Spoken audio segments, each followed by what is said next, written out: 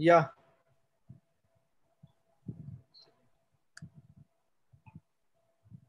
Perfect good evening friends welcome to Indian arthroscopy society basic teaching course today doctor Pratik Gupta past president of Indian arthroscopy society very senior arthroscopy surgeon with immense practice of shoulder and knee arthroscopy has joined us today he is going to take a basic talk today on the basic shoulder arthroscopic anatomy In this talk, he's going to evaluate and show us what is a diagnostic normal shoulder arthroscopy and how you can well differentiate each and every structure from an anatomical structure to a pathologic structure.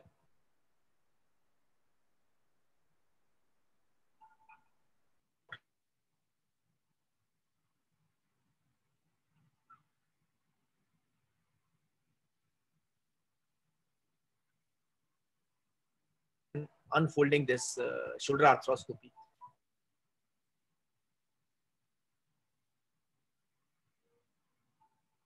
From for those who are graduating from uh, knee arthroscopy into shoulder arthroscopy. So I think let's welcome Dr. Prateek Gupta and our faculty, uh, Dr. Varun Joshi and Dr. Vinay Pandey, uh, so that uh, we uh, start with academic proceedings. It's an informal one-to-one -one interactive course. So in between, Dr. Vinay and Dr. Varun are going to ask some questions to Dr. Prateek. And we'll also have some questions coming in the IAS YouTube chat box, which we are going to ask Prateek. So I think uh, let's go for the uh, academic session today. Prateek, welcome. Uh, you may share your screen and we can start the presentation. Thank you, IPS. So I go full screen. Can you see my presentation there? Yeah. Okay. Thank you, IPS, for those kind words. Good evening, friends. I'm glad to join you all today for this basic but very important topic in shoulder arthroscopy. That is the basic tour or a round of shoulder to ascertain what is normal and what is pathological. For any procedure to have a good outcome, one has to have a plan. So we should have a plan wherein all the important structures are seen one after the other and they are assessed uh, properly visually as well as with the probe to ascertain certain uh, incipient or unseen um, lesions. Also, we should be able to understand what is an anomaly, which is normally present in only few percent of the cases. And then finally, we'll be able to come to a pathology. So starting uh, the talk first with the normal anatomy, I would have first half and second half of the talk will concentrate on the normal uh, abnormal pathologies, uh, abnormal structures and pathologies, which we commonly see in a shoulder arthroscopy at the basic level. So we should have a plan, as I said. So these are some important structure and this particular picture will be the mainstay of all our talks. Uh, we will check one after the other the structures here that we see that we have seen. So the common structure that we want to check is the biceps with all its pulleys and everything, the labrum, anterior superior, anterior inferior, which is the main area of our interest, then posterior, then all the three glenohumeral ligaments, rotator cuff, including subscapularis and the other three uh, muscles, infraglenoid recess, bare area where we see the Hill-Sachs lesion, and the articular surface. So we would go one after the other, starting from the top. So we'll start from the starting point. Now the starting point is the entry into the glenohumeral joint. Now for those of us who are starting our or graduating into shoulder, sometimes it will be, it can be daunting to enter the shoulder joint because it is a deep-seated joint. And especially if you have somebody who's bulky, getting into the joint may not be easy. In which case, uh, once you enter the joint, you should, before inflating the joint, you should see what, you should find out what you're looking at. Because if you inflate the joint, uh, the fluid, uh, release the fluid outside the joint, the whole area inflates and your procedure will become difficult. So the moment we enter, we should see something like this, a white uh, capsular background with some vessels. If this is uh, there, and uh, then you are in the correct spot. But if you see something like this, then you are not in the correct spot because uh, you are in somewhere in the muscle plane, which obviously one has to look at um, uh, that we are in the wrong place. So we have to withdraw the scope and you have to check your landmarks. It's, that has already been covered, but just for the sake of uh, people, you put your same side hand, the same side which you're doing the shoulder. So right shoulder, you put your right hand, thumb at the posterior portal, then index finger just behind the AC joint and the middle finger at the coracoid. And this is the line of your scope that should follow. And you push your scope in and with the give, you should be able to enter the joint. Now, once you have entered the joint, then the next uh, picture you want to see is this. You need to find the lighthouse of the shoulder arthroscopy, which is the long head of biceps. Once you see these biceps, then you need to orientate yourself.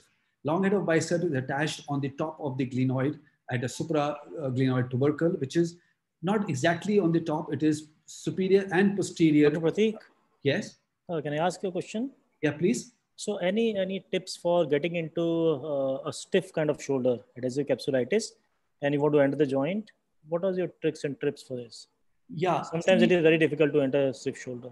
True, very true. In the stiff shoulder, there are two problems. One, there's no space to get in. And the second problem is all the tissue all around, as you know, are thickened and they are uh, very, very um, difficult to pierce. And you don't know how much pressure to put. And, and when you are doing the first time, it is always a problem. So uh, obviously, having your landmarks right is one thing that we do. Have the shoulder fully relaxed, and the anesthetist should also help so that you can uh, have a little bit of feel.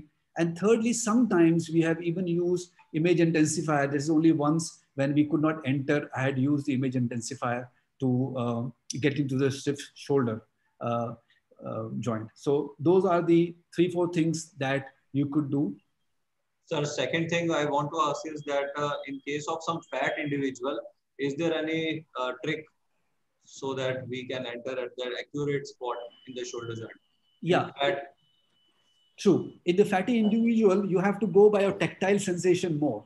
So uh, the trick is not to have a rounded trocar, not neither sharp. You have a conical trocar. Now, conical trocar just feels like a finger. And uh, as I said in the previous uh, slide, you need to uh, uh, see the um, landmarks. And once you enter, you will hit a hard spot. Now, at this spot, you don't know whether you are on the glenoid or whether you're on the humerus side or you are at the glenohumeral junction. So let's suppose we are on the humeral side, right? So your arm is either in abduction if you are in the lateral position or whichever, you ask your assistant to rotate the shoulder. Now, when you rotate the shoulder and your uh, trocar also moves with it, that means you are on the humeral side. So you move slightly more medially and, uh, and slowly, slowly you will fall into a cleavage, a small divot and then uh, at that stage, if your, if your assistant moves the shoulder, you will find that your trocar is no more moving because it is at that spot.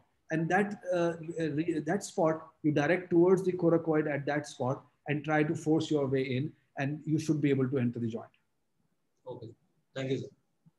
So uh, coming back to the uh, orientation, the orientation is important. We have uh, the long head of bicep in front of us. The structure below is glenoid anterior posterior rim. And then we have, um, um, we have the uh, humerus on the lateral side. Superiorly, we have um, supraspinatus uh, posteriorly. And this is a diagrammatic picture. Now, this is the most complicated area I need to understand the anatomy good here. Then uh, rest all will follow. So just uh, posterior to the biceps is the supraspinatus. And uh, as it enters the bicipital groove, the biceps, the roof of this is formed by coracohumeral ligament. It is a thick ligament which starts from the base of the coracoid, fans out over the biceps, intertwines the bicep from both the sides, and then part of it is attached to supraspinatus, and large part of it attaches onto the lesser tuberosity, along with the superior glenohumeral ligament, which arises from the anterior superior part of the glenoid, and then again attaching onto the bicipital uh, groove on the lesser tuberosity. Now, these two are very important stabilizers of the shoulder. These are the ones which stabilize the shoulder from anterior translation when the arm is by the side. We will see at 45 degrees which one, and then at 90 which structures are important. So for instability, this is important. And below this is all the rotator cuff interval. And then you see subscapularis lower down, making an angle. So once we have seen this, we have orientated, we then uh, proceed. So here we see the uh, first uh, appearance. So this is how you would see when you enter the shoulder. So you would see these structures and you inflate. you withdraw your scope slightly and the bicep should start coming into picture. So you see bicep is coming there. So slowly you will see that picture that we saw, the photograph. So this is where we, uh, we saw that photograph. So here we have got long head of biceps, anterior labrum, posterior labrum, and we can see in the background there the uh, subscap and middle glenohumeral ligament. So once we have seen this, we need to first ascertain whether the bicep is strongly attached to the glenoid. For that, we do the probing. So we, from anterior superior port, we put a probe and we can probe the anterior superior labrum. Also, we will probe the bicep attachment. Now, this is important. You will see when we lift this, there is always a sublabral uh, uh, sulcus, which is only four to five millimeter. But you see the attachment is right at the uh, glenoid uh, cartilage uh, margin. So there is no lift up. So this uh, makes it important because then once you see a pathology, you saw that it was nicely attached. Now here is a lesion where this is detached. So this is what is called SLAP, superior labral anterior to posterior detachment. And this is how it looks like. So once we probe it, see, we are able to lift this up, how far we have been able to lift, and there is no fibers attached to the edge. So all of this is lifted up. So this is the SLAP lesion uh, seen very clearly in this picture. So that is to the base of the uh, biceps. Then we go down to see the biceps tendon and the, uh, the pulleys. Now this is the structure uh, which is the posterior end of the pulley. There is an anterior of the pulley uh, and we will see that anterior end coming here. So you see this is the anterior edge of the pulley. This is the coracohumeral ligament and this is the superior glenohumeral ligament. These form important structures here. And if this is torn, the biceps tendon tends to become unstable and, uh, and have fraying and other things here. And this leads to the painful shoulder. So uh, then we come down to seeing the biceps for uh, any pathology. Uh, well, it enters the bicipital groove. We also need to push our scope and we can look into the groove uh, uh, as we insinuate our scope and we can see for any hourglass deformity. This is the uh, supraspinatus, you can see nice and clear here. And as we get, go in, you can see here the intertransverse ligament and also biceps for any pathology here like hourglass, fraying, or any other pathology. So this is checking the biceps in totality. So to complete this, we can pull some part of biceps into the joint here as you see, and whatever is hiding in the bicipital groove, some of it can be brought into the joint for visualization. So that will then give us the full idea about the biceps and is there any pathology in biceps. So if you look at what kind of a pathology we can see, so now here to orientate ourselves, this is the humeral head, this is the glenoid, this is biceps. And as I start the video, you would see that there is this fraying. You saw such a nice uh, biceps uh, uh, in the previous uh, video. And here we see the biceps, which is uh, showing uh, fretting and, you know, fraying here. And also you would have noticed there is some missing part of rotator cuff, which we'll come back. So as we said that those two ligaments, uh, these uh, coracohumeral and superior glenoid, uh, superior glenohumeral ligament are very important. And if they are lax, then when you pull the shoulder down, the sulcus sign is positive, especially here, the superior glenohumeral ligament is the main restraint along with the static restraint along with the other structures. So this is what we see a sulcus sign in case uh, we have. Uh, so just to add in this, uh, sometimes there are mesentery-like folds in the biceps, uh, which are called biceps viniculi. These are just synovial folds and we shouldn't mistake it for uh, fraying or any pathology. Yeah, they have rounded kind of a, a, a appearance and not ragged or uh, you know uh, sharp as you saw in this very true then we have we have finished with the first uh, topic which is the biceps and the area. Then we come to the anterior superior labrum which is in front here. It is a triangular structure. Uh, as you see here it is attached to the anterior superior part of the uh, glenoid. Uh, the tip of the triangle is on the inner side and the broad part on the outer side. Here we look for tear, fraying, or detachment. Now this particular part of labrum from the biceps till three o'clock position is uh, known to have a lot of anomalies in it. And uh, sometimes we find um, them and we should be aware. So the structure uh, here, uh, the anomaly could be a sublabral hole. So the if you look at this video here, the labrum is not attached. As you saw in the last video, the labrum was nicely attached and triangular. Here it is lifted up and there is this sublabral hole, which is very common. So uh, you can see a sublabral hole or you can see a Buford complex. Now in Buford complex, what happens, the superior, anterior superior labrum joins hand and attaches to the middle glenohumeral ligament and they form uh, a thick band which goes in the front and you will see that the uh, superior part of the glenoid is actually empty. So here to orientate, this is the bicep, this is the humeral head, and you see this thick structure going from here anteriorly, as you see, and see this, the glenoid. Glenoid is devoid of any labrum here. There's no labrum on the anterior superior aspect, and we see this going, spanning out, and this is the subscap, so it is making an angle. So this is the Buford complex. Again, an anomaly uh, seen um, by many of us uh, during the arthroscopy, and we do not take this as pathology. In fact, this part of the labrum has so many anomalies that we rarely take any anomaly or any abnormal appearance as a pathology. So we go down to the uh, next uh, thing to see is MGHL, the middle glenohumeral ligament. This is a ligament which starts from the anterior superior aspect of the glenoid and then traverses across. It makes a 60 degree angle to, um, to subscap and it can be seen very clearly. And this is the important structure at 45 degree of abduction when you do the external rotation. This is the ligament which is actually restraining the uh, humeral head from moving anteriorly. So anterior translation is stopped by this. So this is an important structure, but sometimes it can be a very thin ligament like a wheel, as you will see here. This is the middle glenohumeral ligament. This is the uh, subscap that we are seeing. So subscap is attached to the uh, humeral head here at the bicipital lesser tuberosity. And you will see this ligament like a thin structure. You can see this thin structure. This is called wheel type. It's a very, very thin uh, middle glenohumeral ligament. But sometimes you'll be surprised to see that the same ligament, as you see here, uh, is a thick structure going all the way from uh, glenoid, and that's the subscap. So this is cord-like um, MGHL. So again, this is a normal uh, anomaly uh, that you can see in this area.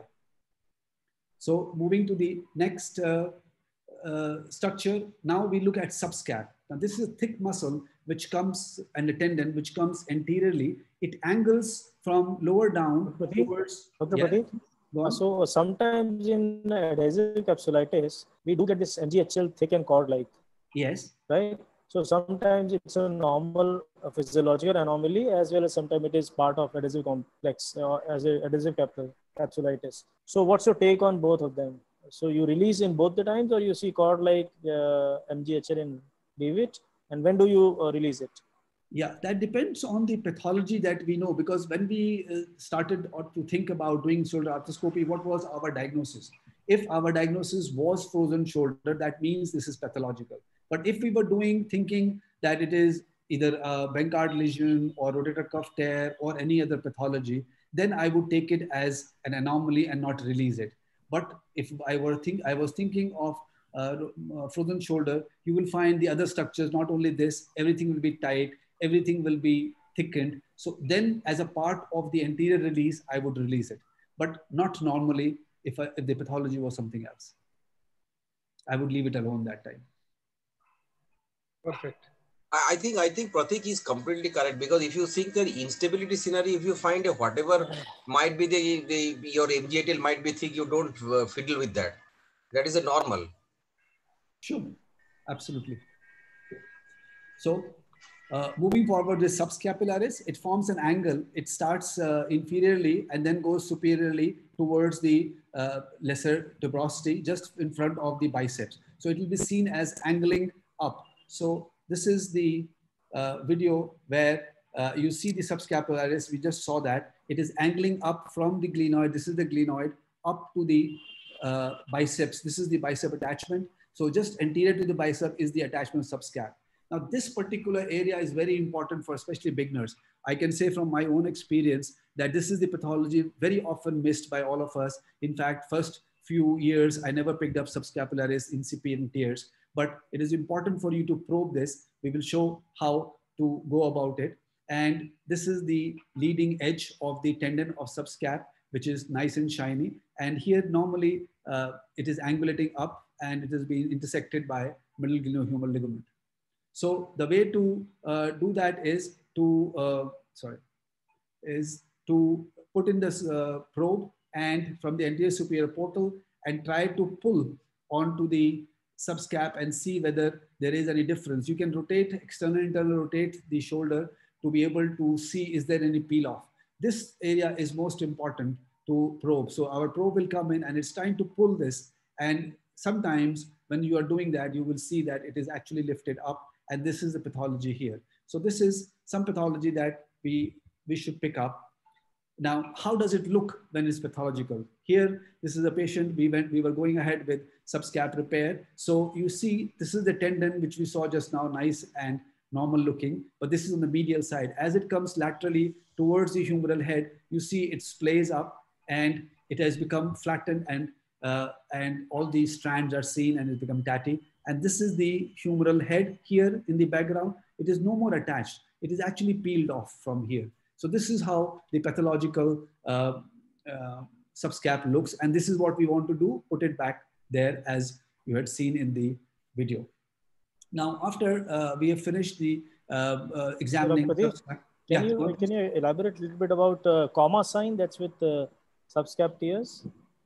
Yeah, the, the comma sign, when you basically, when there is a tear in these structures, when it comes off from the um, lesser tuberosity, and the whole complex, which includes the superior ligament and this uh, um, um, uh, coracohumeral ligament, along with this, which is peeled off, then there is a tissue which is lifted up, uh, which looks like a comma, and also your biceps starts to, uh, you know, become unstable, and you can see it having showing signs of inflammation and uh, uh, freighting on fraying on the uh, biceps. So that is uh, what is referred to. Yeah, one should look for comma sign while while checking for subscap tears. Yes. So if you see those comma sign there, then you have a, a corroborative evidence that the bicep is uh, the uh, the subscap is torn.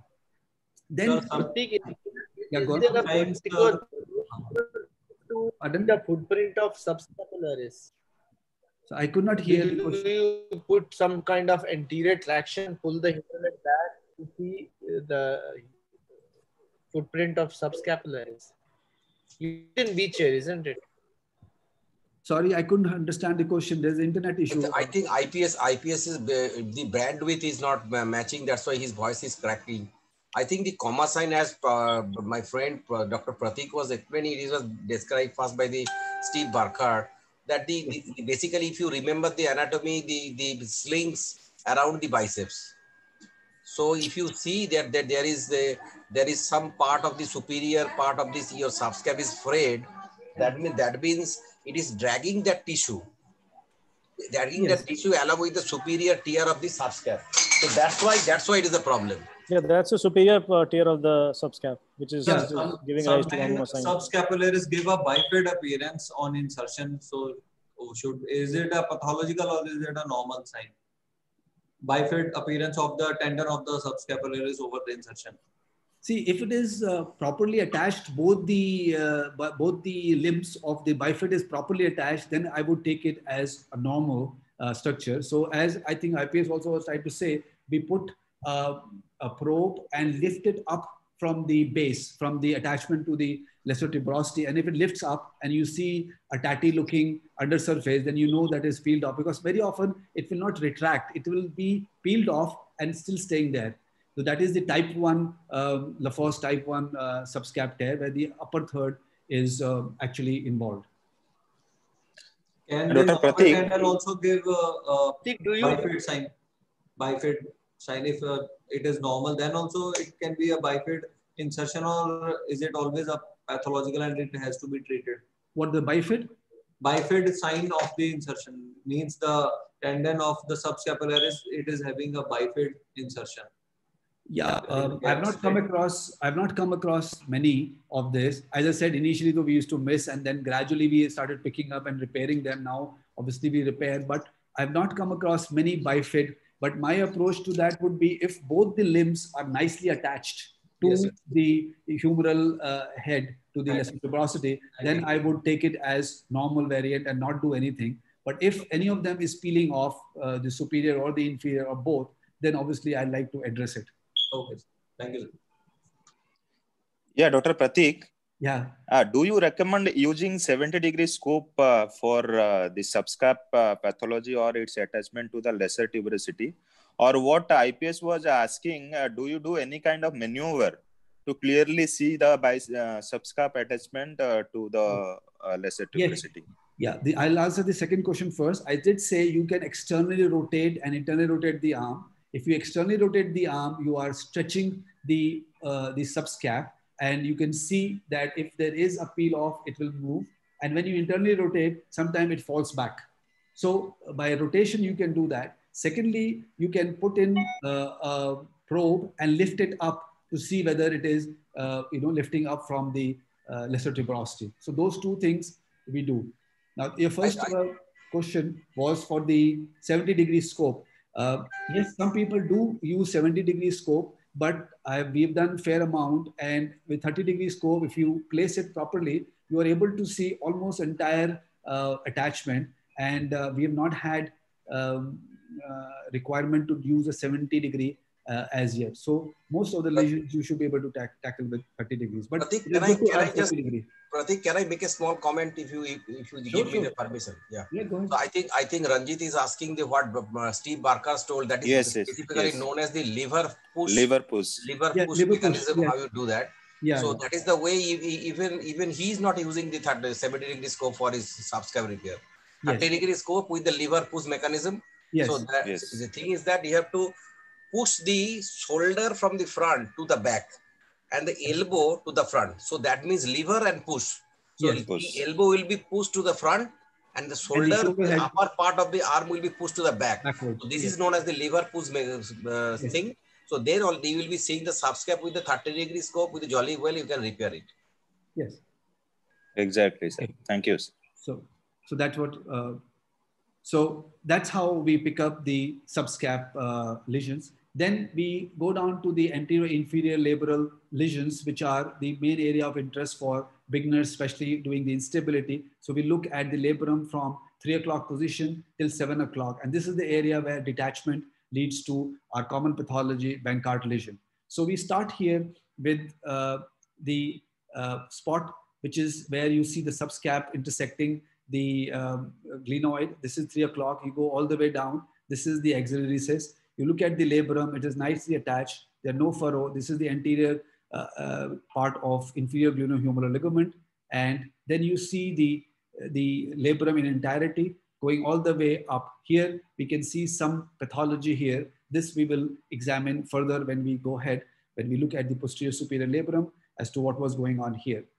Next is to probe this. So we put the probe and uh, look at the labrum and sometimes the there is a tear, but it is not so apparent. So you want to put the probe and examine and try to see if it lifts up from the uh, glenoid.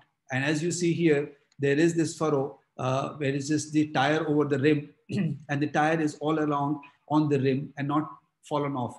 We will see some pathological uh, pictures where you see it falling off.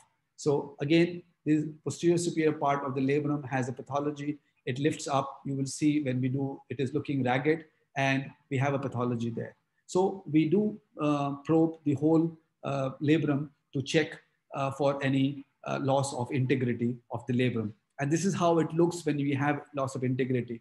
This is the uh, humeral head. Just to orientate, that was the bicep. This is the glenoid.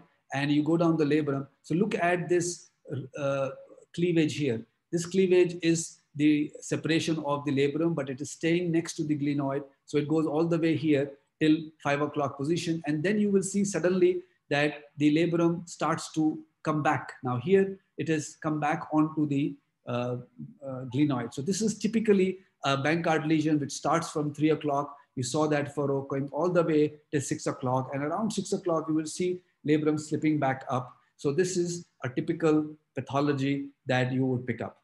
We would look at the probing of this and further in, in the pathological section of ours. So now we move down to the glenohumeral articular surface. It is important to look at the uh, glenoid surface as well as the um, uh, humeral surface. So this is the glenoid surface. You know, the cartilage is thin in the center, is a bare area and thick at the edges. So this is important. And we are also looking for uh, any um, articular pathology, partial thickness, full thickness defect in the articular surface. And as we had seen earlier, this whole, uh, you can see here, the glenoid, whole of glenoid and the humerus, and you can appreciate the pair, the, the pair, this is narrow on the top and broad at the bottom. This is the pear-shaped uh, glenoid. And when we look at the instability, especially bony Bankarts, we will see that this is a reverse pair. So this is the articular surface. We look at that for any pathology and note it down. This is again showing some of the uh, glenohumeral pathology. You can see uh, this is the glenoid. We just saw tatty um, superior labrum. And as we get into the glenohumeral joint, we see that there is this uh, grade three to four lesion, the center of the glenoid, as well as there are some changes in the articular surface. So this is osteoarthritis. This lady had OA and a rotator cuff, and she did not agree for uh, arthroplasty reverse, and uh, she went ahead with a repair. She is improved, but still has some pain because of osteoarthritis. So that is one of the uh, problems. So this has to be noted down. Then we come down to next important area, which is the inferior part of the shoulder, the most dependent part, the axillary pouch. Here you will likely to find any loose body and one important structure passes through here, that is the axillary nerve. So one has to be careful in pathology, just we were talking about frozen shoulder, when we are doing release, that we have to be very mindful of the nerve, very close proximity. And also when we are doing the reefing of the, uh, of the labrum, uh, when we are doing uh, reefing, then we need to be careful. So this is like a hammock, which goes from, uh, from the medial side to the lateral side. And this is the most dependent part. So this you need to examine and see if there's any pathology there. Then we look at the two bands, the anterior and the posterior glenohumeral band. Now these are the structures which are responsible for stability of the joint. Uh, also, uh, the anterior one is for anterior translation of humeral head, but this is at 90 degree abduction and external rotation. So uh, while we look at the axillary pouch, we see uh, this is the uh, ligament which is fanning out. We will have a better view of it in a minute. And as we come in front, so this is the anterior inferior labrum, and you see a structure going anteriorly from the anterior inferior part of the glenoid onto the humeral head, and that is the um, anterior glenohumeral ligament. And sometimes you'll be surprised that the instability patient having dislocation, but still you can see the intact um, uh, inferior, anterior inferior glenohumeral ligament and the labrum. So in those cases, be wary of a lesion called HAGL, which is humeral uh, um, uh, anterior detachment of anterior glenohumeral ligament. So they will be having a patulous area here and you will have a big pouch. So that is the telltale sign. Not very, thankfully, very common, but better appreciated from anterior superior portal. Then we come to the posterior band. Now, posterior band has, is exactly matching the anterior one, but is on the posterior side. It, it uh, actually tries to control the posterior translation of humeral head with arm and 90 degree abduction and internal rotation. And if we see that, so we will see this band going just next to the axillary pouch posteriorly and attaching onto the uh, humeral surface. So these are the two important ligaments that we look at the inferior recess. Then so just to add, uh, in this uh, IGHL and uh, uh, in case of adhesive capsulitis, these get so much contracted that uh, one loses the pouch and the pouch is just adherent to the humeral head and one cannot even enter the axillary pouch in cases of uh, severe adhesive capsulitis. Sure. So you have to start releasing from the top so that you can get to the axillary area. And some people are very careful. And in fact some people do not do the last bit around six o'clock. They just break it by just gentle manipulation because of the axillary nerve also sitting there. And with such a thick structure you are sometimes not able to understand the anatomy when you are doing uh, the frozen shoulder release yes sure So moving on now further uh, with our uh, dynasty round, uh, we have reached here. Now we look at the posterior labrum. Now this uh, area is uh, very often involved in either posterior instability. Sometimes we have a small lesion in the posterior inferior aspect called Kim's lesion. And this posterior superior part that we saw just in our previous probing is actually known to have uh, to house the cyst. So you have sublabral cyst in this area. So whenever you have a pathology here, try to look for is there any detachment? Is there any sublabral cyst? So now we will examine this lesion that we were seeing earlier. So here we see that this is the posterior superior labrum looking tatty. And when we lift it up, it is actually lifting up here. And uh, we knew from the MRI that there is something hiding there, there is a cyst. So we kept on trying to probe because until unless you reach the weak spot and you are able to hit, because some cysts are superficial, some are deep. And when you are able to hit, your probe goes in and you see the fluid escaping. Uh, the, you can see that fluid coming out. Uh, so this is uh, the area where you will find the sublabral cyst here. The uh, way to tackle that is to debride this, release it, and then debride this cyst completely and put an anchor and reattach the labrum to uh, make the cyst heal. Then once we have finished the labral part, we look at the posterior superior uh, humeral head. Now this is the area called bare area of humeral head. This is important because here it houses what we have a counterpart of uh, Bankart lesion, which is called the Hill-Sachs lesion. Now this is the area where we find many um, old uh, vascular channels hiding. And as you see here, um, you will see the canaliculae. These are the uh, channels where um, previously, so this is the channel you see here. This is the uh, canaliculi, the old vascular channel. And you see posteriorly, there is attachment of the um, uh, rotator cuff.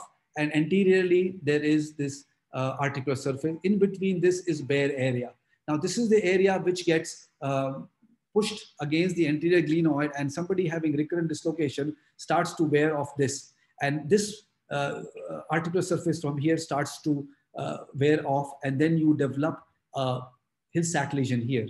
Now this area also corresponds to the attachment of uh, inferior uh, infraspinatus uh, tendon. So sometime when we have a very massive rotator cuff tear and we are looking for the correct placement of the rotator cuffs, so then we put infraspinatus in this area to get the correct uh, uh, alignment. So this is the uh, articular surface, this is a bare area, and then we have the rotator cuff. So this is called the bare area.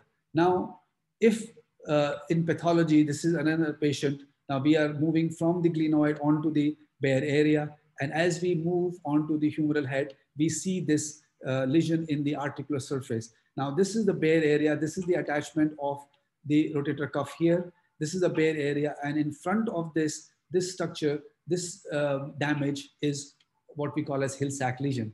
This is a very small one, uh, but we have uh, one of the few videos of a deep and a bigger Hill-Sachs lesion. So here we can see this, uh, this is the line of articular surface and this is the loss of articular surface uh, mounting to Hill-Sachs lesion. And once we have examined this, uh, we have almost completed toward the last part to see is the top of the shoulder, which is the rotator cuff. Superiorly, we have uh, margins of bare area will be smooth and margins of Hill-Sachs will be irregular and uh, it, it will be uh, in the posterior aspect mostly. Yes. So uh, if you look at this, so they are all ragged margins and sometimes even you get a small island of cartilage. So there is a little cartilage here. Then you see a lot of uh, uh, rugged area. This is the Hill-Sachs. Beyond the cartilage, you will see, as you uh, mentioned, because we have got uh, a good amount of smooth uh, surface, which is actually the bare area. Yes. And bare area also has nutrient arteries, and Hill-Sachs will never have a nutrient artery. Yes, the canaliculae and these things will be absent there. True. Because there's an articular surface which has gone off, so you see a bone there. Absolutely. Sure. So when we look at the rotator cuff now, this is superiorly supraspinatus and then the infraspinatus and then the teres minor. We are able to appreciate that. Uh, so if you look at this picture, we start from biceps and just behind the biceps or just uh, at the posterior pulley starts the supraspinatus, which goes all the way, uh, covering the most of the superior part of the humeral head. And then we come to the bare area where we see the infraspinatus attachment and lower down we would appreciate uh, teres. So this is all supraspinatus till here. There is a little bit of, uh, you know, degeneration, some yellowish discoloration. There could be a pathology, but as soon as we start seeing the bare area, we see, which is starting from here, we see the attachment of infraspinatus and further down would be the attachment of uh, teres, which will be, we'll see there lower down. So with this, we have examined the whole of rotator cuff. Then the time to probe it from anterior superior portal, we put the probe and try to lift up. Very often when you have a big tear, this will be a blank area open, you can enter there. But sometime when you have incipient um, lesion, then you put the scope, uh, the probe from the anterior superior portal and lift up to see if there is a partial articular surface tear, like a PASTA lesion or, uh, or uh, any other fraying of the rotator cuff. So that way we have probed the rotator cuff. Uh, and sometime if you have a suspected area and you're not very sure whether this is uh, a pathological or not, as you will see in this, we can see some furrowing here. This was a partial kind of a lesion uh, on the articular surface. We were not very sure. So the good idea is to put a small uh, percutaneous needle into this area so that you can identify this lesion from the uh, subacromial side. So once the needle enters into the shoulder, you can then put a monofilament suture as a marker. So you have marked your point where you are suspicious of a lesion on the articular surface side, and then you go down to the uh, subacromial area and you gently release the bursa to get to the rotator cuff. Here is rotator cuff underneath. That's the, uh, the acromion above. So as you clear slowly the, the bursa, you will start seeing the, uh, the marker there, the thread. You have to be very careful not to obviously um, injure it or burn it. But as you go and you will see here, as we pan into this area, we see a small lesion. We're just trying to ascertain there will be a small lesion on the back, which you will see. And that was partial uh, tear. And once you can see that lesion there coming up. So that is the lesion coming up at the back. This, this, this area is the uh, lesion here. And when we will just probe it, yeah. So you see there's a humeral head and it lifts up from there. When we went to debride this, this was about 80, 90% gone. So we completed that tear and repaired with one anchor. Um, so this is how we pick up the you know partial tears. Then you can see the big tears I was talking to you, the big space here. You see the tatty biceps, and this is the humeral head. From our examination of the normal rotator cuff, soon after the biceps posteriorly, we should see the articular uh, surface of subscap uh, of the supraspinatus. But here we don't see, but we see here a rim. So this is the crescent type of a tear. You can see this rim. This was to be attached here, but it's got detached and is moved medially. So you see a rim of tissue coming, and then it will attach onto the humeral head. So the supraspinatus is torn uh, here, and this is the attachment of the rotator cuff coming back onto the uh, humeral head.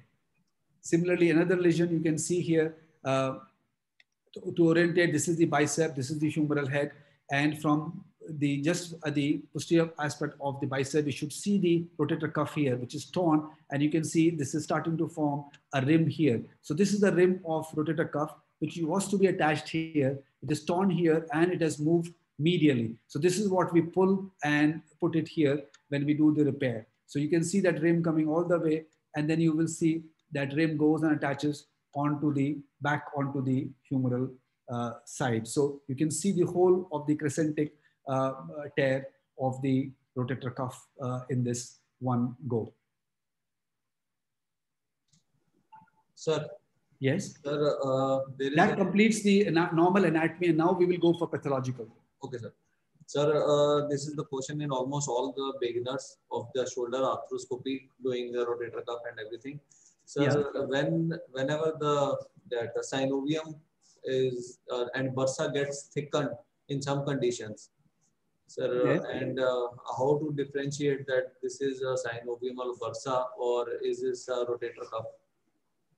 Yeah, so what we do is we use the shaver for this most often, and I would move the shaver, uh, keeping the cutting edge uh, superiorly. That means facing towards the uh, acromion, and then move it over the tissue. Now we know that by, uh, by default, the synovium and the uh, bursa is, uh, is what the shaver will catch and rotator cuff will not come because rotator cuff is a thick and a, you know, a very hard structure uh, which uh, generally will not catch uh, in this maneuver. So we move over it and as we go, from uh, and also we try to find a point somewhere uh, generally anteriorly we are able to ascertain where is the biceps and where is the uh, cuff. And from there we start developing that plane. More problem is as we come posteriorly because there it gets uh, you know uh, badly entangled. So we start from there keeping the uh, shaver looking up and keep shaving and develop that plane. And then sometime once we have got a plane we put the Wissinger rod and do kind of a release of the two. And then finally, we can use our um, probe uh, band to release that. Thank you, sir. So, so now we will go to the pathological lesion. So again, we start from long head of bicep. We know SLAP lesion has been classified type 4, type 1 when there's only fraying, type 2 when there's some detachment of the bicep, type 3 when there's a bucket handle, and type 4 when there is a split as uh, in the uh, in the biceps tendon. So first we will look at type 2. Here in type 2, which we had seen earlier also, you can see that it lifts up exactly how we are seeing here. The whole of the labrum is lifted up from the glenoid and this is type 2 lesion. So this is how the type 2 lesion looks. So you can see that nicely lifting up. And you saw that when it was normal, there was only a small sulcus, five millimeter. But when it is more than five and definitely more than 10 millimeter, then we are dealing with uh, a SLAP lesion here. This is type one. This is type two, sorry. And then we, when we look at type one, which is just the fraying. So when you enter the shoulder, you see the biceps and you see this frayed edges of labrum. But when you lift it up, it is still attached. So this is type one. All it needs is just to shave that with the help of a shaver. So we use a shaver to just shave it off and that leaves a stable labrum. What is interesting is uh, sometimes we come across type 4, not very often, but sometimes. So this is one of the boxer who came to me with a dislocated shoulder and was reduced. And when we went into to do the scopy, and this is what we found. So you see this picture and you see this, the copybook style, you see the biceps here, which is split from the center and as we go down, we see that it separates out uh, like a meniscus from the main stem. And you can see the glenoid there and the, uh, the one part of bicep still attached. The other one is completely detached and uh, floating into the uh, joint. So this is type 4 uh, um, SLAP lesion. So in this, what we did was we repaired the biceps back uh, by the stitch and then put two anchors to stitch back the labrum to the to the glenoid as well as whatever was left attached to the glenoid part of biceps there. So, and this went on to heal quite well. So that was the pathology of uh, biceps. Then in subscap, as we have already seen and we've discussed, it has been classified into one, two, three, four, depending the upper third, partial or complete involvement or two-third involvement or complete involvement with some fatty and then full fatty infiltration. So here we see a subscap lesion uh, this is type 1 slash 2. Uh, just to orientate you, this is the humeral head. We will see the uh, biceps here, and this is the subscap that we are seeing. And so this is here is the biceps, and you saw the glenoid. You see this flap-like uh, tissue, which is actually come from the uh, attachment of subscap. From there, it has come off, and you will see, we will see the belly of um, the tendon of subscap there this was the glenoid here, and this is the uh, middle glenohumeral ligament that we are seeing. So you see, this is the uh, intact lower part of the subscap. Uh, and this was shaped and then uh, prepared and reattached to the uh, lesser tuberosity. So this was uh, one lesion. Then another type 2 lesion, which is showing more clearly. this is the lesion here. You can see this is glenoid this is the humeral head, and you see the biceps angling up towards the humerus to the attach here on the lesser tuberosity. And as you can see here, this is the normal looking tendon. And as it comes towards the attachment, it becomes tatty, it's lifted up uh, and it's got strands. And here uh, it is peeled off uh, and it was reattached here. And uh, we put our scope, uh, our shaver to lift it up and you can see it moving away from the attachment. Then we have the another um, pathology here that was the biceps and this is inflamed tissue. Underneath here you will see the subscap which is again not fully attached. You will see here that peels off from here. There's a lot of uh, fibrosis fibrous tissue here. But when we maneuvered it you can see this tendon also is uneven uh, because of fibrosis. So when we move it we do internal external rotation as we see here when we are rotating it, we can see it peels off from the uh, attachment. Now, coming to the Bankart lesions, how to probe them, how to see for them. So this first lesion, we are uh, seeing somebody who had only one or two dislocation where he's had a Bankart lesion, but it has not displaced. So it is not, we are looking from the posterior portal, and this is uh, glenoid, this is the anterior part, this is the labrum. So here we see a small sulcus. Initially we thought uh, it may or may not be, but once you put your scope, your, your probe, you see that the it goes in and then you can develop that furrow all the way to five o'clock and then to six o'clock position to see that this is a complete detachment from three o'clock on to the six o'clock. Um, and this is the typical Bankart lesion, which is not displaced.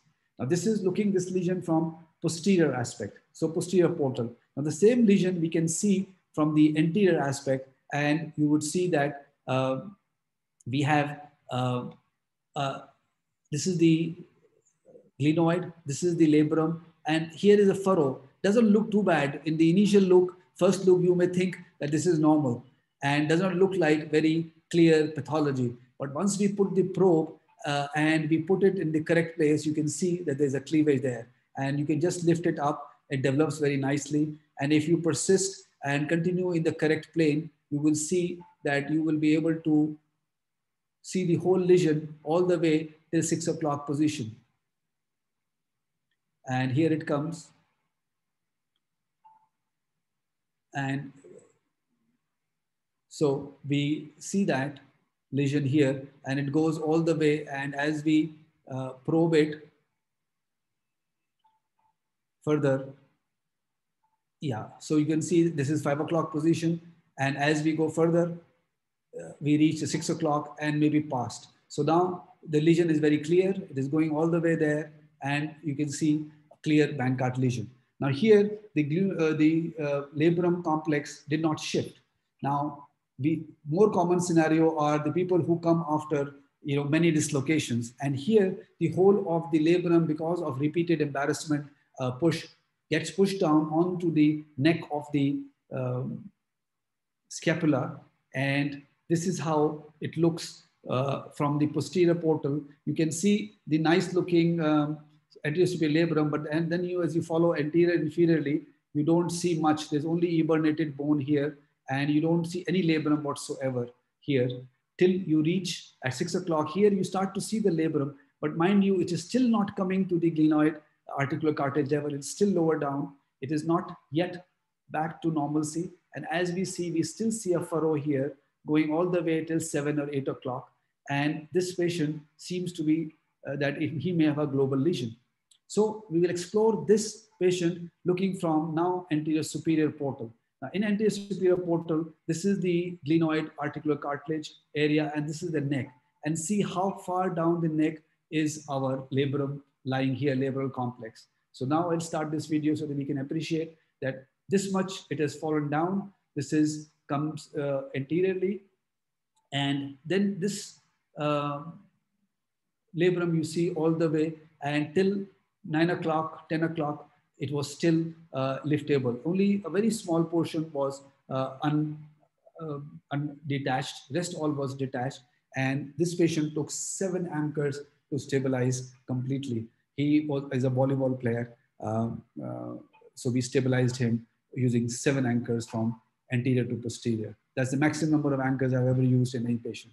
Then we look at the glenoid. We looked at the glenoid as a pear shape. Now, if there is a uh, bony uh, Bankart lesion or a bony loss, then how does it look? So this patient, as we see, this is the, uh, we're looking from anterior superior portal. So this is the inferior part of the glenoid. This is the superior part. And you see, instead of having a pair, we have a reverse pair. It is actually uh, narrower at the six o'clock position then it is at the middle. So a part of the uh, labrum uh, uh, complex along with the glenoid is lost and you have this what we call as a bony Bankart. Now this you can uh, arthroscopically also assess how much it is because uh, as a ballpark figure, we see uh, the center of the um, glenoid, the bare area in the center of the glenoid. So this bare area, if you measure distance from here to the back, that gives you a diameter, uh, the radius, sorry. And then you would see that the, the distance of this from the front is much less. So this gives you an idea uh, and you can, uh, by the striations marking on the probe, you can roughly have an idea as to how much mm loss of bone it is. And uh, that is the intraoperative, but better way is to do radiologically by doing CT scan. And when we have a combination of the Bankart lesion as well as significant Hill-Sachs, then this is what happens. So this is the humeral side, uh, this is the glenoid side, this is the humeral side. We are doing abduction and external rotation to see whether the, the lesion will engage. And you see that as soon as this is the Hill-Sachs lesion coming and anteriorly there is a bony defect. And as we go, we see this engaging. So this is what is either called the, uh, the engaging uh, Hill-Sachs as Burkhart and their team said, or uh, the off-track lesion uh, according to Itoi's uh, understanding of this pathology. So uh, the last part is the posterior superior humeral pathology, the Hill-Sachs lesions. So when we go to the bare area, as was discussed earlier, this is nice and smooth, the bare area. But as we come anterior, these are the canaliculi there. We come anteriorly, we see this ragged, rough area where there's loss of cartilage, there is no uh. Yeah, go on. Can I ask you something? Yeah, yeah, go on. So have you ever find that uh, it's a, in a patient of multiple dislocations, you hardly find any kind of labrum. It's like no labrum kind of scenario. Have you ever encountered a situation like this? Yes, when they've had, uh, uh, you know, like some of the patients have 20, 30 um, dislocations, then they have ALPSA lesion. The, the, the capsule has been torn so many uh, times that there's hardly any discernible tissue. And sometimes you find it very difficult uh, to make up your mind what to repair and what not to. And in this situation, you have two options. Either you repair whatever is there to your best capacity, whatever you can get hold of, or you start thinking in terms of uh, bony procedure if there is a bony uh, loss there. And also supplement it with uh, remplissage, you know, your soft tissue repair with remplissage. So both of them will work to try and control the humeral head. Thank you. Okay. So this is the patient who had a failed remplissage. You can see in the Hill-Sachs area, in the bare area, it's supposed to be in the Hill-Sachs area, the, um, the uh, tissues, the uh, threads and suture material. Another case where you see the, so as IPO was saying, this is the smooth bare area. And as we come uh, towards the anterior side, towards the articular cartilage, you start seeing rough, ragged area where there's no canaliculi. And as you go further, initially it looked at a small, but now you see this is a big area. So here you see nice and smooth area till here. And from here onward, it is rough, no canalicules and uh, rugged area. So this is the Hill-Sachs lesion. It's a big Hill-Sachs lesion and the Hill-Sachs interval is from the medial edge of the um, rotator cuff to the articular surface. So that uh, is, according to Itoi, we calculate this uh, measurement. And if it is more than 83% of the glenoid diameter, then this lesion is likely to engage and cause um, dislocation of the shoulder. So it has to be tackled separately. So this was the concept. We're not going to discuss this just to show you uh, what is Hill-Sachs and how it, uh, it relates to instability. And last is the rotator cuff tear. We've already seen many of these lesions. Um, this is the humeral head. This is the tear, torn uh, um, rotator cuff. It goes in front and uh, this is where it is lying and it should be attached here. You see a crescent kind of a, a margin just above the uh, humeral head, which is the uh, rotator cuff. And- uh, Prateek, Yeah. so uh, what is your uh, uh, method of uh, designating the type and the pattern of tear? It is by pulling the, the cuff or by the looks of it? How is it? No, see, look wise, most of the time you will see like a crescent. Crescent, yes. No, you will Most always, almost always see as a crescent. Only when we reach the subacromial space and we cleared up, we try to reduce the cuff. Now, once you hold the cuff and try and reduce, so if it is L-shaped, you will see that the cuff will come anteriorly and get attached. So that's when you actually ascertain whether it is L, reverse L, or it is a true crescent shape. So actual uh, uh, type of cuff tear, you can only ascertain once you've cleared everything and you try to reduce, then only you get an idea as to what kind of a tear it is. At this stage, you will see most of them a crescent. You see all of my looks like a crescent tears. Yeah. I think I think this is the Vinay. You have asked a very good question because this is always a difficulty how to identify the L and the reversal rather than the small crescent. Big crescent you will never have problem. But problem is they always try to hold one corner, reduce it, then second corner, reduce it, which falls back easily to the corner. That means that will dictate whether it's a L or a reversal. Am I correct, Prateek? Yeah, absolutely. Correct. So you Correct. hold the rotator cuff and try to bring it to biceps and see if it comes there. So if it comes there, you know it is L-shaped uh, uh, rotator cuff uh, tear. So once you uh, on the reducibility, you are able to ascertain that. So another uh, tear. This is the humeral head. You can see a tatty biceps here, and above that you see the edge of the rotator cuff, which is torn. This is the humeral head. It should be attached here because it's torn and retracted. You see it here, and you see a big, massive rotator cuff tear. This whole of the head is exposed. So this was including uh, all the two tendons. And we were talking about frozen shoulder just to show you how it looks like. It is difficult to go in. And when you see this all red inflamed tissue in there, and as as we pointed out, entry is difficult. So this is the only time when I use uh, artery forceps to get in. So you see, you put an artery and try to expand because there's hardly any space inside the shoulder. So you need to create that space by, uh, so this is one of the tricks I do, put the artery forceps and try and, uh, you know, uh, open it. And once you have made a vascular, this uh, flow channel, you start seeing things better. And then you see this anterior thickened anterior uh, glenohumeral ligament as was talked about.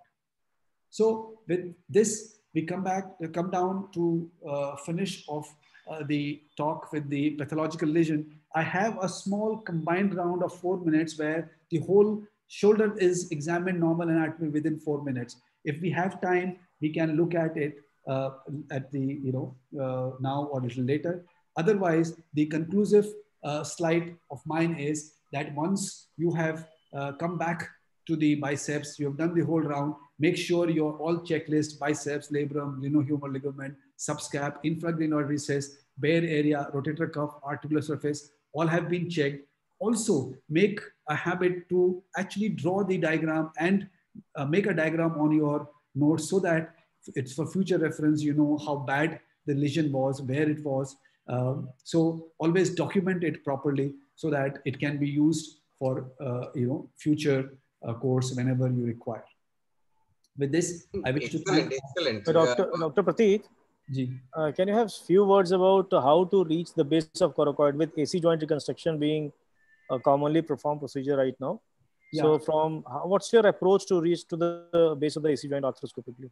See, I did not purposely take it up because it was a very basic. Um, details just stick to basic Vinay. It's a very, very yeah, basic. so that is why I did not. We can go into that, but that will take it to a different tangent. Yeah, absolutely. I think let us keep it very, very. Uh, there are questions in uh, chat box. So if you I, I think IPS. can we unshare the screen, I will take the questions I questions first. Yeah. Yeah, question. I'll unshare uh, Yeah. uh, the To screen. unshare the screen, Prateek, then we'll take the questions. Yeah. Uh, one question is do you uh, while putting an arthroscope in the shoulder sometime manipulate and maybe do some stress test on the shoulder to see for hidden lesions like uh, SLAP tears. So do you take the arm out of traction with the scope inside and actually try to uh, elicit a peel off?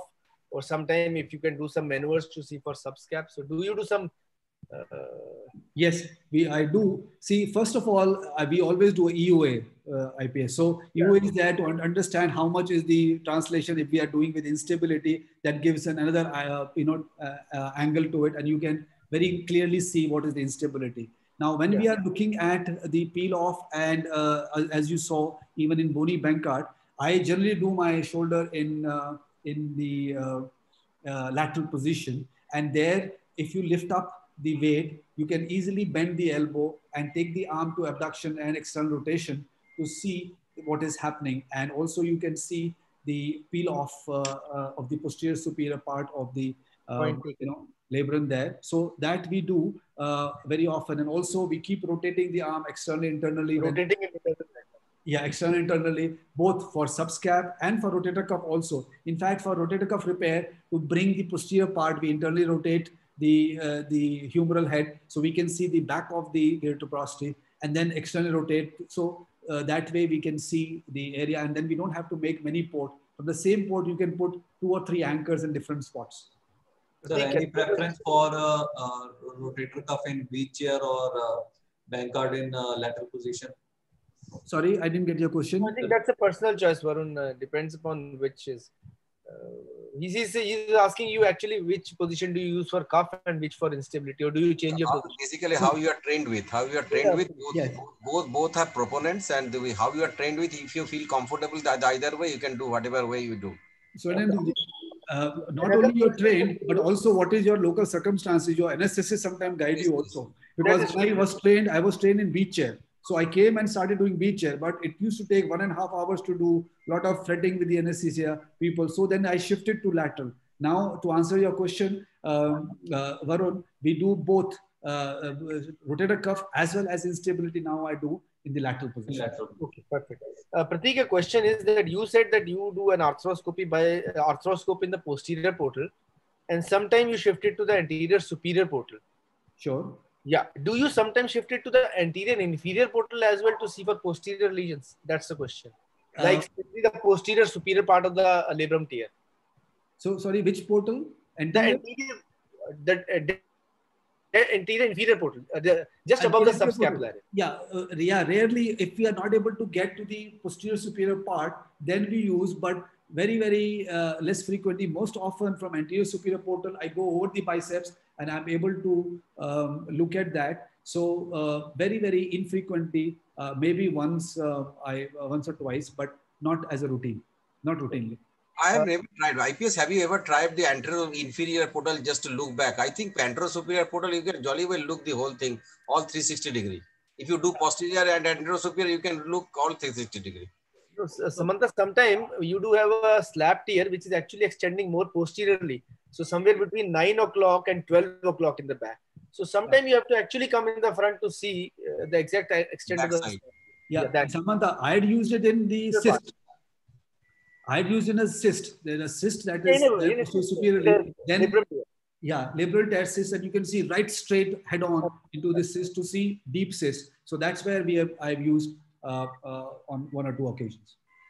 Number three, there is a question which says that uh, how often do you find posterior inferior glenohumeral ligament pathologic in an anterior instability? Uh, you take you getting the question? Yes, yes, Okay. yeah, Yeah. yeah. If it is a pure, uh, see what happens as you saw those global lesion, no? So that was actually that presented as the anterior instability. Yeah. You saw that the whole thing was off from three o'clock till eleven o'clock. So obviously, these kind of global lesions are not that common. You, I would say, less than five percent of the whole uh, pathology. But yes, you can see the in the anterior when there's a violent force, even the posterior glenohumeral ligament would come off uh, Limit on. from uh, from the glenoid. That's just the last question, and then we can have some more questions. Uh, I don't think. I think you have already answered that question. That's okay. So, if is there any more question, Varun, Vinay, uh, Ranjit, uh, Samantha, Dada, Sandeep? so we are here to answer prateek has explained it beautifully Ah, nicely, yeah. So Yeah, you can you can uh, show your uh, you can run the video, and then we can. yeah video video. Okay, so that was just for somebody in four minutes how to do the whole thing. So I'll just share my screen Yeah, screen. sure, you can run that video. And One word is that uh, if you are uh, trying to enter uh, adhesive capsulitis, Yeah, sometimes you can use Wissinger rod only. You don't need to go with a trocar and a sheath.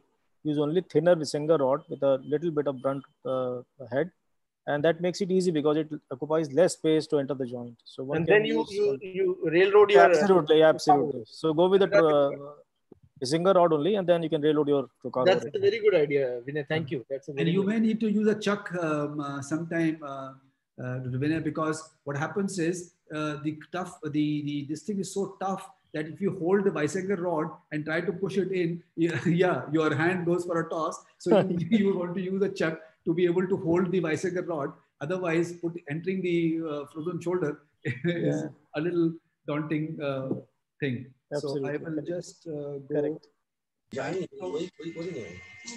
So I'll start this video. So this yeah. is the uh, you know this is the whole thing together. So once you enter the shoulder, you can see this structure and you know that you are inside. You withdraw and uh, you scope the long head of biceps. This is the base of the long head of bicep is nicely attached. Uh, this is the anterior and this is the posterior labrum. Then you look at the rotator cuff, what you can in the early stages. This is the supraspinatus. Then we see the biceps. Uh, then we go into the uh, bicipital groove. Before that, you can spend some time looking at the rotator cuff. And once you have reached the uh, bicipital groove, you look into the groove, intertransverse ligament, the posterior pulley.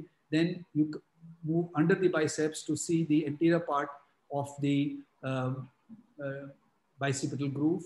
And here we decided to see the rotator cuff first fully, but generally I do it in the last. Uh, and once we have seen the rotator cuff, then we come to see the anterior part of the biceps pulley. So uh, that is uh, subscap attachment to the anterior edge. This is superior glenohumeral ligament we attached here. And this is the middle glenohumeral ligament. You're seeing the subscap fully. And then we enter into the uh, rotator cuff interval, see the middle glenohumeral ligament there. That's the subscap. And then we come to the labrum. We see the labrum from three o'clock position to six o'clock all over. And we see the anterior glenohumeral ligament there, axillary pouch. And uh, anterior superior labrum was visible there, as we can see here. So in this one round, we are seeing whole of the labrum from anterior superior to posterior superior coming at biceps. The whole labrum is seen. Then we see the axillary pouch, the posterior uh, limb of glenohumeral, inferior glenohumeral ligament. Then we come to the bare area. We see the canaliculi and the smooth uh, surface. Uh, and then we see the articular surface uh, of the humerus. Here we see a very small lesion, but generally this is smooth. Then we come back to the um, rotator cuff interval. And in this interval, we make our first port. And through this port, which is made, and for the beginners, I'll always suggest to put the needle, check, make sure that you can reach the base of the biceps and also you're able to reach to the six o'clock position so that you can address the instability, put in your probe, see the anterior superior labrum, it is intact. Then you look at the uh, base of the bicep attachment. There should not be more than five millimeter separation. If it is not, then this is normal.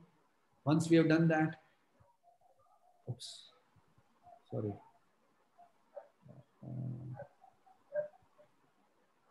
Let me see where we were. We have gone. So, um, yeah. So here we were. So once we have done the uh, checking for the um, biceps, then we look at the anterior aspect.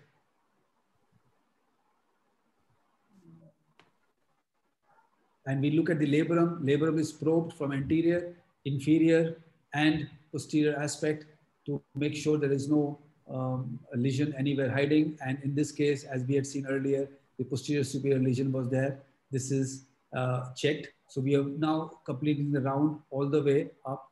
Then we come to subscap. We probe the subscap to make sure we don't miss the lesion at the attachment to the lesser tuberosity.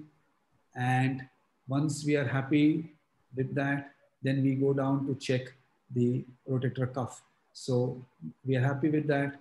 And once we have finished that, then we see the uh, biceps. And then in continuation, seeing the biceps, we also go and look at the rotator cuff all the way till the end. So we can go uh, up to the uh, supraspinatus and some part of infraspinatus from anterior portal. So that's the four minute, we complete the whole round of uh, shoulder uh, examination. Great talk, Prateek. I think you you were very Excellent. very very uh, slow and you explained it nicely because that's what we wanted you we wanted you to show its structure and pathologic structure and discuss nitty gritties of uh, differentiating between a normal and, and pathological fracture i know it requires a lot of patience on the part of a, a teacher to explain all these things and you have been patiently speaking for maybe more than an hour or so now so thank you very much prateek i think it was a wonderful talk uh, Varun, last comments, maybe Ranjit and Vinay, some last comments, and then we conclude. I think uh, sir has covered almost everything. Yep. Uh, cleared almost all the doubts we had. So it was a very nice talk, sir. Yeah. Thank you so much. Thank you, Prateek. You are all, as usual. You are always very much gentle, and the way you present, I think the all the junior they should learn how to present and how to keep the data, and the way he presented it. He was never hurried, and Yeah. he was telling every every little point in with some uh, importance how it should go on. This is the basic idea of doing this sort of video technical, and we are taking the people like Prateek Gupta who are the now the stalwarts in the arthroscopy field. Absolutely. I think. So I Yeah, wish to excellent, the- excellent talk, sir. Excellent talk, sir, and very good illustration for the beginners. Absolutely. Yeah, you have nicely illustrated everything for the beginners, and uh, they can go Not easily with any a diagnostic pathology. shoulder You scope. Actually Yeah. covered all the pathologies, not missed any pathology. So nice. Thank you. Excellent. Surely. Very nice talk, sir. Thank Thank you. you, It was wonderful. Thank you so much. And uh, Prateek. I Thank you thank you all for uh, uh, being here with us and giving me this opportunity to to uh, talk to all my colleagues. Uh, it was pleasure. Thank you so much. Thank, Thank you, you. Prateek. Thank you. Uh, friends, uh, uh, we have a webinar coming in uh, next week. Uh, it's by a very, very senior person. This guy is vice chair of clinical outcome research from uh, University of Pittsburgh, USA, Dr. James J. Irrgang. Dr. James is uh, famous for his uh, extensive work in rehabilitation and return to sports after ACL reconstruction. We do a lot of ACL reconstruction surgery, and we are always afraid when patients would go back into sports and when can we allow them back into sports. Uh, so tune in on uh, Friday, the 5 p.m. on 18 September to listen to the master himself, Professor and Chair of Department of Physical Therapy, Dr. James J. Irrgang from Pittsburgh. And I think Pittsburgh has got maximum work in ACL reconstruction. So uh, join in on 18 September at 5 p.m. to hear from the topic, uh, return to the sports testing after an ACL surgery. Where are we today? And thank you for joining in for today's webinar. It was indeed a wonderful webinar. Thank you, Prateek. Thank, thank you, Varun, Vinay. Thank you, Ranjit, uh, Samantha Dada, and uh, Sandeep for making it happen. Thank you. Thank